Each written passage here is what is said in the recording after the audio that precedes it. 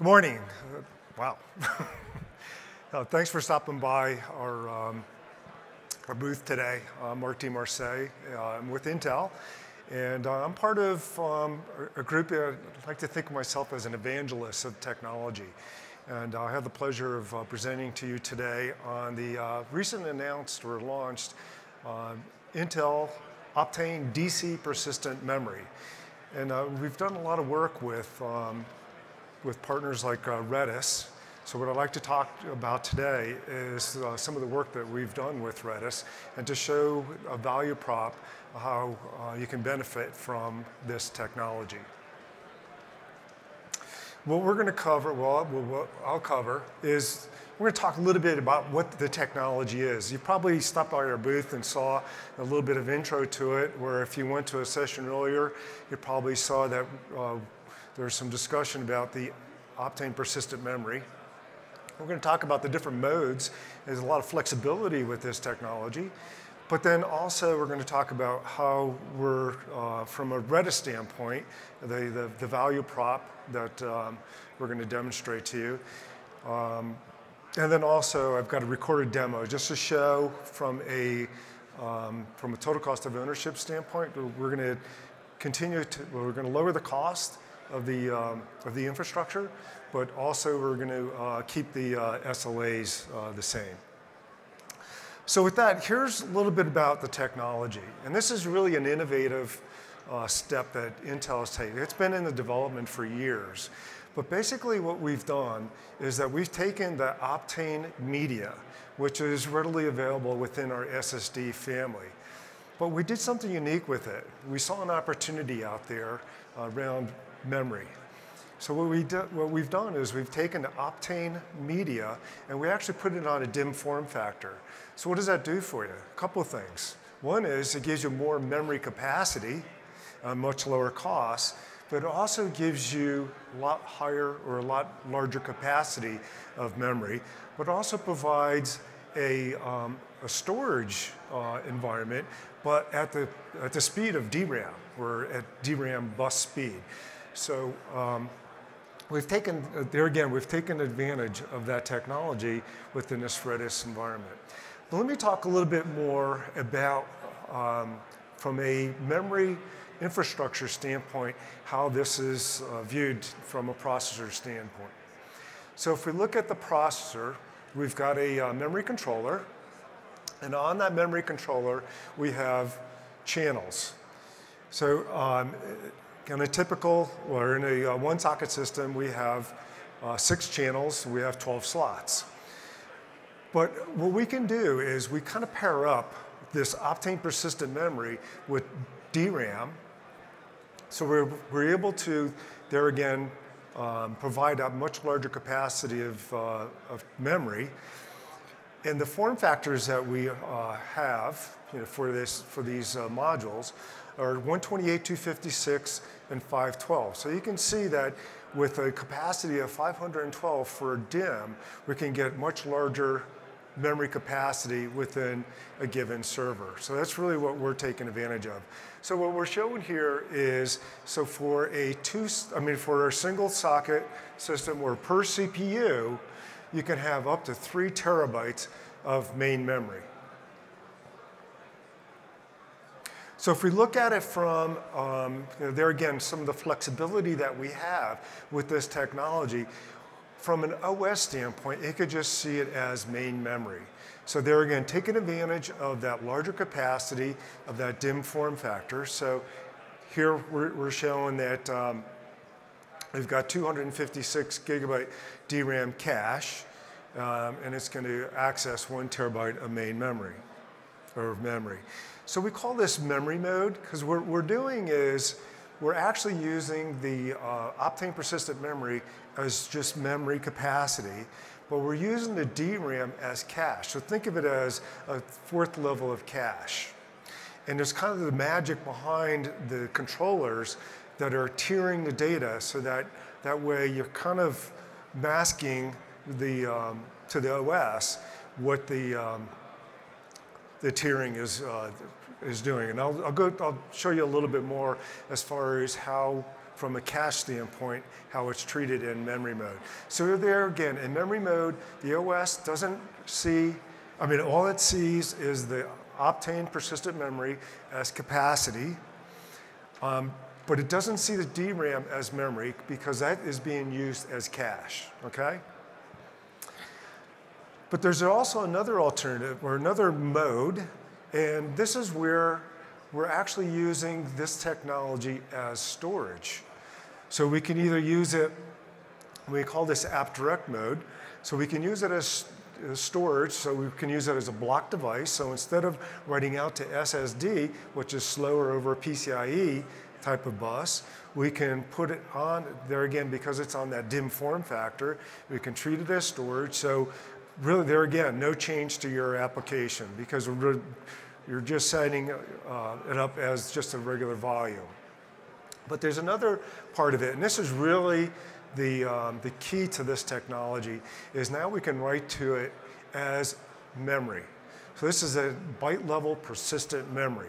And this is where you get optimal performance. So instead of going through the, uh, the kernel for uh, for the file system, you're actually writing directly to the technology or writing directly to that, uh, that DIMM. So you get an optimal performance. What I'm going to show you though is really from a, um, a memory standpoint, the memory mode, how we're using um, from a Redis standpoint and the benefit that we're, we're able to give you from a, from a Redis uh, environment. So there again, from a Redis enterprise, you know, we're we're there again taking advantage of that caching layer, and then we're going to use the persistent memory as total capacity. But there's a, there is another um, alternative. You can use um, that in that app direct mode. You can use uh, the Redis on flash. So instead, there again, instead of writing off to or accessing uh, SSD, you're actually uh, writing it to uh, the Optane persistent memory that's on that uh, DRAM. Okay, so a little bit more about memory mode, just make it clear as far as, you know, this is kind of the magic that's happening, and this is the flexibility that we have with this technology. And there again, as I mentioned, there's no changes to the application. The OS just sees it as memory. But what we have is, we have the DRAM, which is really called the near memory, and then we have the Optane persistent memory that we're going to call FAR memory. But from, an, uh, from a controller standpoint, from memory controller, we're going to be managing how do we access that data. So you can see that the, the optimal performance is when you just you treat it as near memory. If the access, the data is in near memory, you're going to get the same uh, level of performance that you would, would with DRAM. So there again, what we're showing here is um, we're going to access the near memory as DRAM. And then, um, so that would be a cache hit. So there again, the data is resident on DRAM. This is okay, performance is the same. But what happens if that data happens to be actually out on the Optane persistent memory? In that case, it would be a cache miss and it would check, would first check in the, uh, the DRAM to see if the data is there, and it says, oh, it's not there, it's going to go to the memory controller and say, okay, where is it? And it's going to see that it's out on Optane persistent and it's at this location, and then it's going to be brought back in. So the key is that, you know, this is the balance because now we're going to give you a lot more capacity, but we also want to make sure from a performance standpoint that there's more hits than misses. So there's a ratio that we want to maintain. So you're still going to have a certain amount of DRAM, but there again, we're going to have a much larger capacity of, uh, from, from a total memory standpoint. But the thing is, is that it's moving those older cache pages out into that farm memory so that way you're freeing up that cache so that way you have optimal performance. So really, you know, what we're trying driving here in this particular example is an improved total cost of ownership. Because if I can give you more memory capacity at a lower cost, that's going to be a benefit to your Redis environment. But the whole idea is that we don't want to have an impact on this uh, SLA, on those service level agreements that you have, but also um, be able to uh, have memory, have higher memory capacity. So if we look at, you know, the kind of the typical, whoops, at the typical Redis environment, you know, what happens? You know, some of the customer pain points are, hey, you know, it's an in-memory database, it's a large in-memory database, and as the data con continues to grow, um, what happens is that the cost of main memory becomes a prohibitor. So then what happens? You start dividing that those Redis um, instances up into smaller chunks. And that just makes it more complicated to manage in that environment. But if we can expand or extend the amount of uh, memory capacity that you have, then we can, there again, support a larger data set. So the whole idea is to come up with a solution that is going to support that single in-memory database, but provide you still with that sub-millisecond response, there again to reduce the cost. So the, uh, there again, the value proposition is to, to maintain your SLA, but at a much lower hardware cost. Um, so there again, it's to accommodate the larger capacity of uh, those deployments, have fewer servers, um, but then also support those the real-time analytics, so not having to uh, branch out into uh, other nodes or shards of Redis. Um, you know, here we're, we're showing that in a particular uh, environment, uh, with the additional capacity, and there again, maintaining that SLA. In this case, we're showing less than one millisecond uh, latency. So in a typical uh, environment, we'll say, you know, you've allocated 1.5 terabytes of DDR uh, memory. In that case, you, you needed 17 servers to support that workload. Well, with uh, the Optane persistent memory, because we can support a larger amount of uh, capacity, in this case three terabytes, so we've doubled the amount of main memory capacity. So what is that, the benefit is that now, instead of running it on 17 servers, that workload of 17 servers, now we're only running it, we're running it on nine uh, servers. And there again, lowering the, um, the total cost of ownership, lowering the operation expense, and giving you a benefit. So here, you know, what we're showing is, um, so if we were to take a look at a kind of a typical two-socket system, and um, you know, we'll say that you know there's 1.5 terabytes uh, that is allocated in a two-socket system in a regular DDR4 uh, kind of uh, configuration, and that's with uh, 12, I mean, I'm sorry, 24 128 gigabyte DRAM DIMMs. What we're showing is that we can reduce the cost significantly because we're going to take out some of those DIMMs, the DRAM DIMMs, and replace them with Optane persistent memory and actually uh, provide the same level or the same capacity at much lower cost. I'll, I'll go into a little bit more detail on that.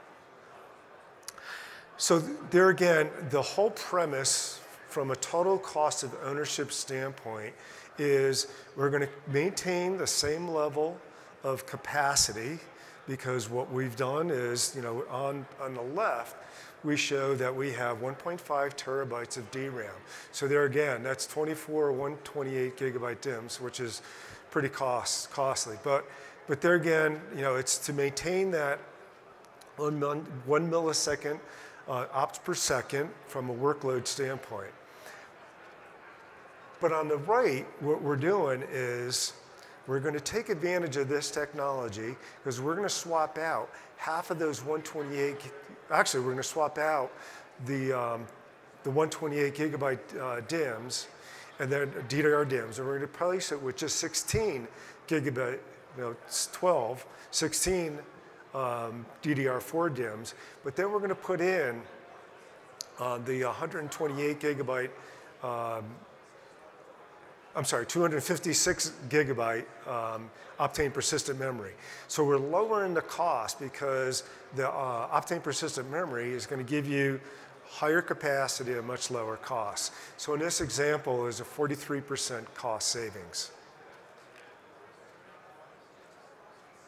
Okay, so one of the things what I want to show is, so by taking advantage of the, um, the persistent memory, actually this is the DDR4 um, system. So this is showing kind of a before and after. And this is showing that uh, based on that SLA, keeping that one millisecond um, response time, we're driving ops per second up to uh, beyond two, but you can see that from a latency standpoint, okay, it's below that one millisecond goal that we have. So that's in a total DDR4 kind of environment. So that meets the criteria. But there again, the whole goal is we want to replace the DDR4 memory. We want to put in the Optane persistent memory. So let's look at the same workload But what we're going to do is, there again, we're using the Optane persistent memory. So you can see we're still driving you know, the ops per second. Now, it was a little higher, but you know, to meet the SLA, we said it's one, milli, I mean, uh, 1 million ops per second. We're still driving it higher than that, but we're able to maintain our SLA, we're staying below that one millisecond. Um, from a response time standpoint. So there again, this is showing that, you know, given that workload, that we can support that environment. So that's all, that's all goodness. And then what I'd like to show is, so what does that look like from a memory usage standpoint? We talked about memory mode and how it kind of pairs up the, uh, the uh, memory, the Optane persistent memory with DDR4. And actually what this is showing, and I know it's a little hard to see, but you can see that the, um, the regular memory uh, and the Optane persistent memory are on the same uh, channel. And we see the DDR-T is actually the Optane persistent memory. So we are from a, um, from a megabits per second, from a bandwidth perspective, uh, you can see that it's hitting the DRAM a little hot, a little heavier than the Optane persistent memory, but there again, it's showing that um, it is still accessing the Optane persistent memory, but because we're having all those uh, cache hits, we're able to maintain that performance. So from, a, um, from, from an SLA standpoint, we're meeting that objective. So there again, this is just showing that um, we're, we're optimizing that technology to give you that much larger capacity and maintain the, uh, the SLA for that, that environment. Okay. So, um, you know, there again, um, you know, th this is using the um, Optane persistent memory in memory mode to get, you know, there again, much uh, maintain the SLA at a much lower cost. But um, you know, there's also Optane persistent memory that is used for Redis uh, open source, but then also um, in app direct mode. So you know, we, we looked at earlier where it's using as flash, or um, you, there's development that is done uh, using the app direct mode. Uh, so they're again at that byte level to give you optimal performance. So if you're looking to get optimal performance or lower, lower your total cost of, uh, of implementation or operation, then uh, the uh, Optane persistent memory is, uh, is definitely a, a, great technology in that environment. So um, I thank you uh, for stopping by and uh, hope you enjoy the rest of the, uh, the conference and appreciate your attention. Thank you.